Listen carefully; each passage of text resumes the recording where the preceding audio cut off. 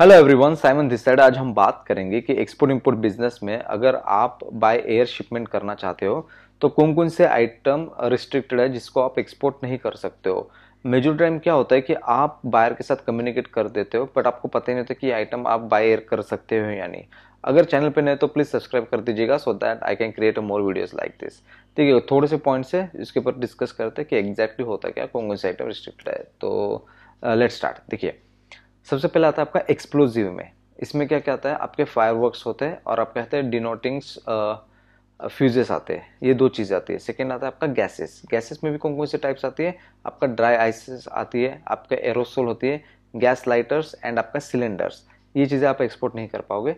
Third आता है flammable liquids which includes आपके paint alcohol paint thinner and आपका इंसेक्ट स्प्रे जो आप स्प्रे करते हो इंसेक्ट के लिए तो ये अलाउड नहीं है।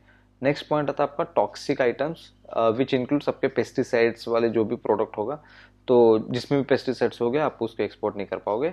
सेकेंड आता है कोरोसिव्स मतलब बैटरी वाले आइटम्स एंड लास्ट में आएगा आपका infectious item which in which means जितना भी मेडिकल वेस्ट है आप उसको एक्सपोर्ट नहीं कर पाओगे मेडिकल वेस्ट uh, का। तो आई होप ये थोड़ा सा आपको आइडिया आया होगा कि कौन कौन सी चीज़ों का आप एक्सपोर्ट इम्पोर्ट बिज़नेस में काम नहीं कर पाओगे मतलब बायर शिपमेंट नहीं कर पाओगे।